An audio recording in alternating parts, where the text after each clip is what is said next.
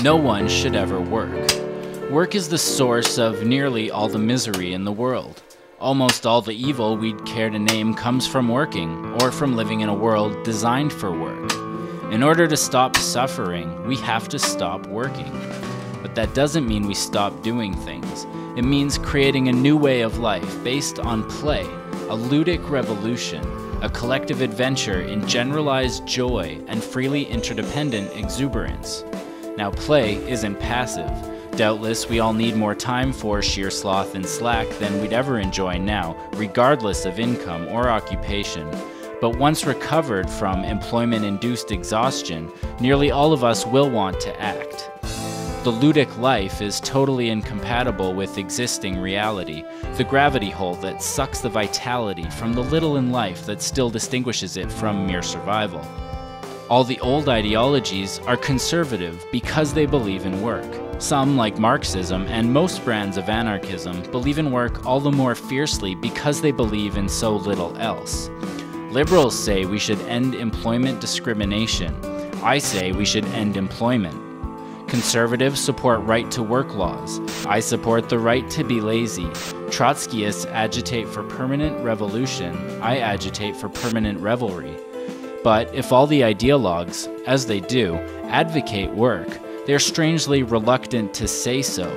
They will carry on endlessly about wages, hours, working conditions, exploitation, productivity, and profitability. They'll gladly talk about anything but work itself. Unions and management agree that we ought to sell the time of our lives in exchange for survival, although they haggle over the price. The alternative to work isn't just idleness. To be ludic is not to be quaaludic. As much as I treasure the pleasure of torpor, it's never more rewarding than when it punctuates other pleasures and pastimes. Nor am I promoting the managed, time disciplined safety valve called leisure. Far from it. Leisure is non work for the sake of work. Leisure is time spent recovering from work, and in the frenzied but hopeless attempt to forget about work, many people return from vacation so beat that they look forward to returning to work just so they can rest up.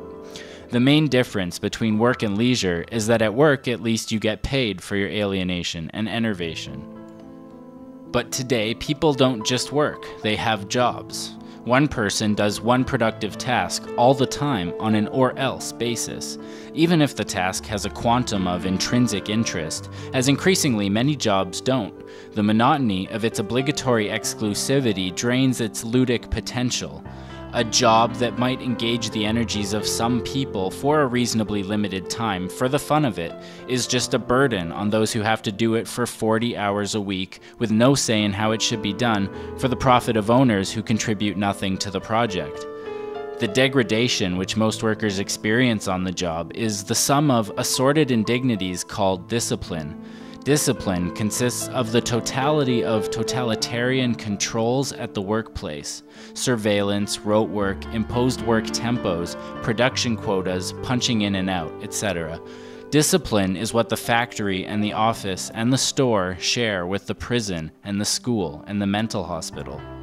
Such is work. Play is just the opposite. Play is always voluntary. What otherwise might be play is work if it's forced. This is axiomatic. To play involves an aristocratic disdain for results. The player gets something out of playing, that's why they play. The core reward is the experience of the activity itself, whatever it is. Work makes a mockery of freedom. The official line is that we all have rights and live in a democracy. Other unfortunates who aren't free like we are have to live in police states. These victims obey orders, or else, no matter how arbitrary, the authorities keep them under regular surveillance. State bureaucrats control even the smaller details of everyday life. The officials who push them around are answerable only to higher ups, public or private. Informers report regularly to the authorities, and dissent and disobedience are punished. And all this is supposed to be a very bad thing. And so it is, although it is nothing but a description of the modern workplace. The liberals and conservatives and libertarians who lament totalitarianism are phonies and hypocrites. You find the same sort of hierarchy and discipline in an office or factory as you do in a prison or monastery. In fact, prisons and factories came in at about the same time, and their operators consciously borrowed from each other's control techniques. After all, a worker is a part time slave. The boss says when to show up, when to leave, and what to do in the meantime. He tells you how much work to do and how fast. He's free to carry his control to humiliating extremes, regulating, if he feels like it, the clothes you wear or how often you go to the bathroom. With a few exceptions, he can fire you for any reason or no reason. He has you spied on by snitches and supervisors, and talking back is called insubordination, just as if the worker was a naughty child. For certain purposes, it's not too misleading to call our system democracy, or capitalism, or better still, industrialism. But its real names are factory fascism and office oligarchy. Anyone who says these people are free is lying or stupid. You are what you do.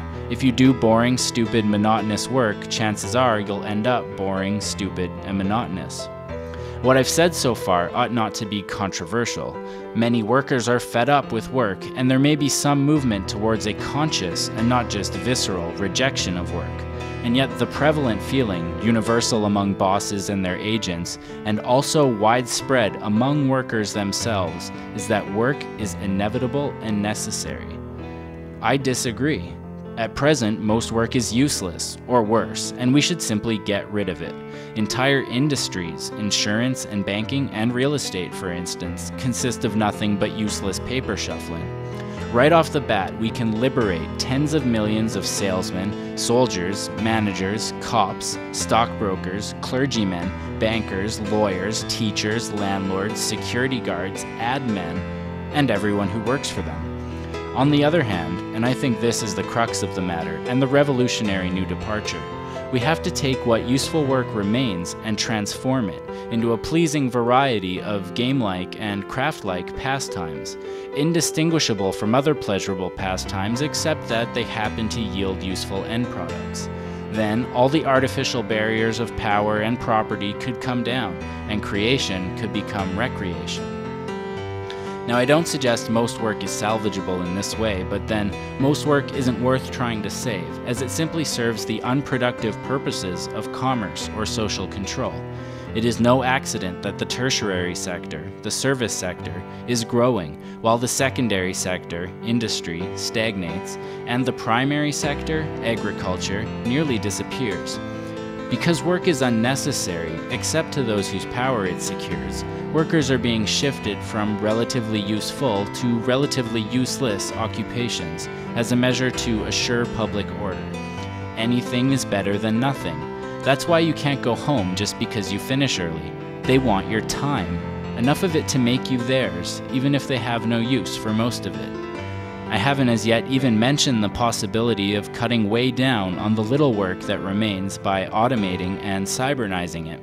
All the scientists and engineers and technicians freed from bothering with war research and planned obsolescence should have a good time devising means to eliminate fatigue and tedium and danger from activities like mining.